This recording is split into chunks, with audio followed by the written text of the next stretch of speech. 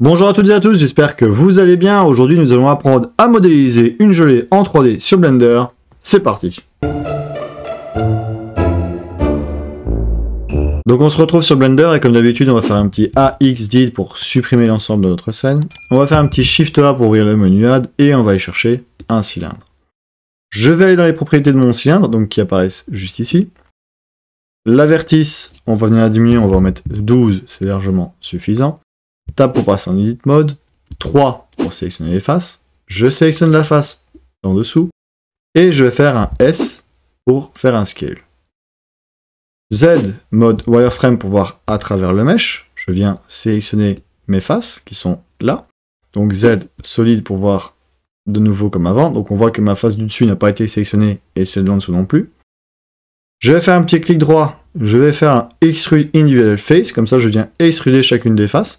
Comme ça, on voit qu'elles ne sont pas fusionnées entre elles.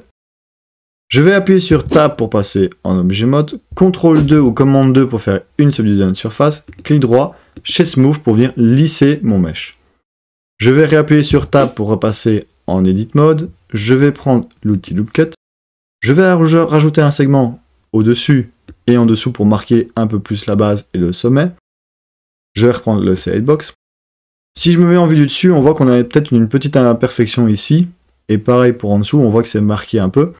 On va appuyer sur 3 pour sélectionner les faces.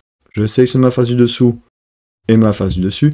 Et là, je vais faire un I pour insérer une face qui existe déjà dans une autre face. Donc on voit que si j'appuie sur Tab, on a un peu diminué l'impureté qui était ici. Maintenant que nous avons notre gelée, nous allons nous attaquer à la texture. Pour la texture, on va aller dans le Shading, on va créer une nouvelle texture. Je vais dézoomer.